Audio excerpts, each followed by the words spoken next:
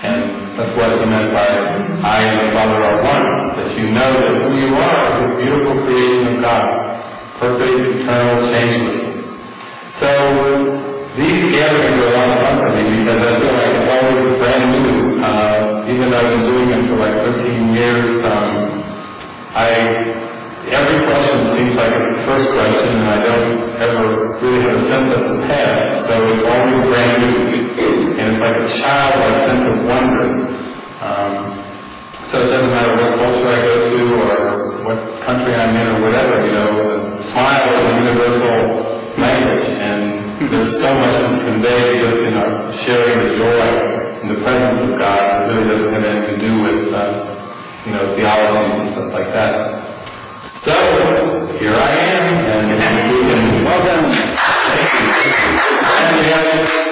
Lenny has offered to have a, a microphone, so uh, apparently we have a videotape and we have sound, so if you have a question or comment, just let Lenny know he will be the roving microphone Person. person. No, I can be the microphone. I have everything, including the microphone. There we go. Uh, was there a point in, Wait, uh, Lenny, uh, I'll take that. was there a point, uh, David, when you, uh, life where you, uh, made a total commitment to God? It's like a, a time when, uh, you can distinguish that you made a big shift and quit trying to, uh, to, uh, identify with your conceptual self and totally, make a total commitment to, uh, follow guidance and, and surrender to God.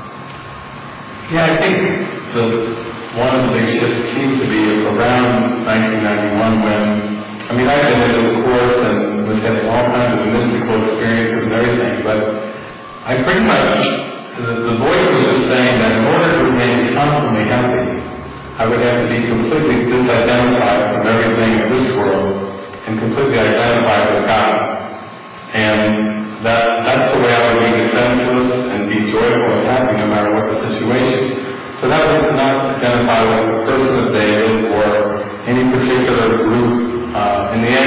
not even to identify with the Course of Miracles. And I've had some beautiful lessons around that over the years where I was at a, a bookstore, and a woman said, can I see your Course of Miracles book? And it was all worn out. You couldn't even the, the gold letters were worn out of it. And she just took it and it was reminded me of a Peter Sellers movie, Pink Panther movie, where, you know, can I have your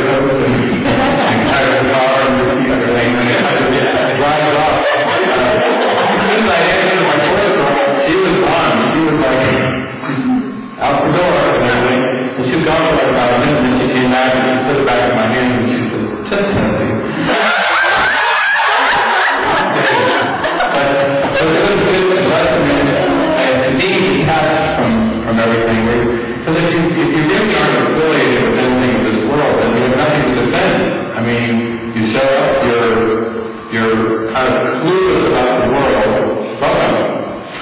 And you're, you're tuned in with God, and a beautiful state of mind in when you really identify with your source and not identify with the things of this world. Because all defensiveness means that you're tied into some kind of illusion concept that you think has to be defended or protected. And in the end, what you realize is your true self, or your spirit, or your Christ self, whatever you want to call it, doesn't need any defense. It just is. Truth it just is, and, it, and it's so beautiful when you begin to open up and identify with that, because then you lose all the sense of defensiveness.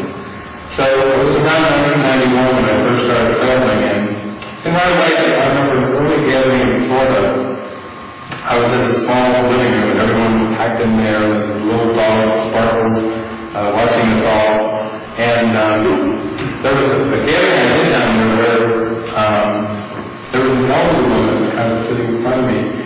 And as I just began to talk, like 15 seconds into the talk, her up in the air, kind of like the Mexican you know, and she said something to the effect of, you know, you, here we go again,